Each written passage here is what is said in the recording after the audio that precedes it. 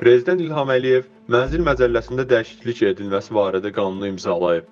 Qanuna əsasən, sosial kirayə müqavilələri əsasında bu məcəllə ilə və digər qanunvericilik aktları ilə müəyyən edilmiş əsaslarla yaşayış sahələrinə ehtiyacı olan hesab edilən az təminatlı vətəndaşlara, o cümlədən sosial müdafiəyə ehtiyacı olan az təminatlı gənclərə dövlət və ya bələdiyyə mənzil fondunun yaşayış sahələri veriləcək.